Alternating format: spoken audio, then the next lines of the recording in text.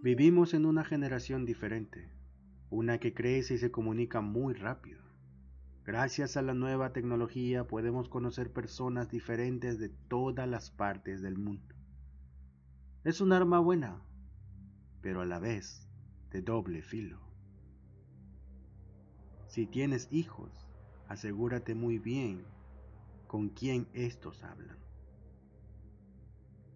ya que la historia que te voy a contar es real.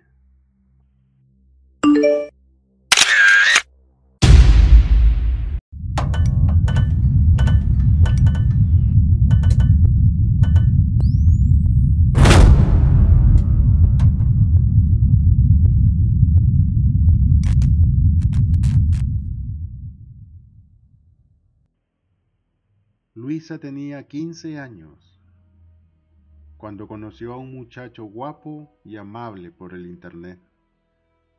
Intercambiaron números y redes sociales y charlaban de todo.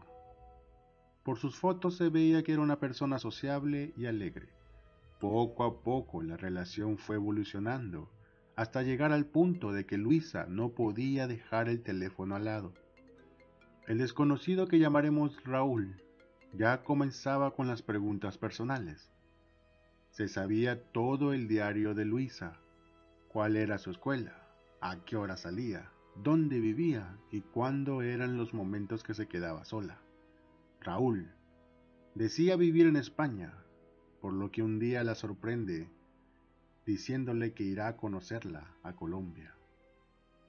La alegría dentro de Luisa floreció. Estaba completamente ilusionada. Ya lo habían planeado todo.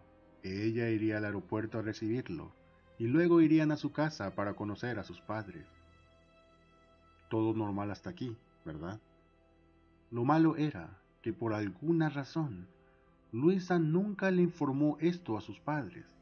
Según cuenta su mejor amiga, ella planeaba darles una sorpresa.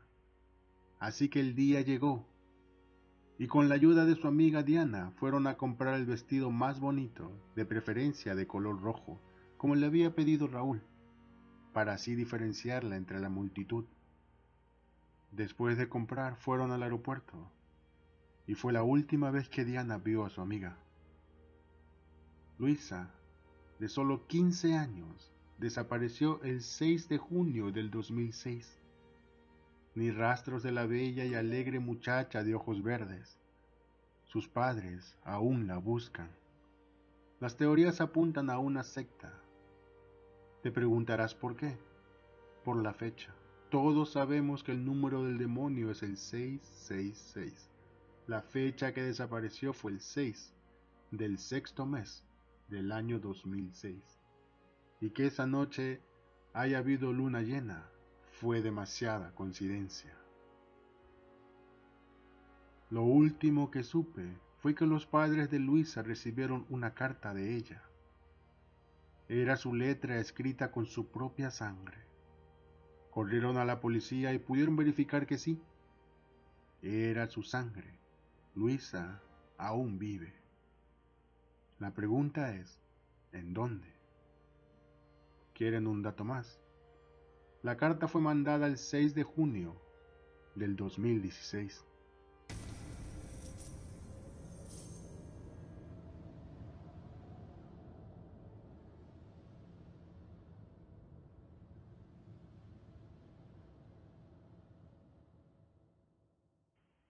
¿Y ustedes qué opinan?